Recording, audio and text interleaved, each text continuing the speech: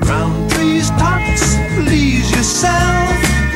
For to choose from along the shelf There's jelly tots, your favorite sweets. Made by Rowntrees for tots to eat and candy tots. Something new, the dolly mixtures and soft to chew. Teddy tots, a shiny bright with a crunchy coating that's fun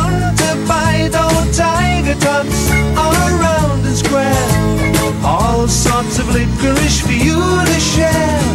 Or to choose from along the shelf, Rowntrees tots, please yourself.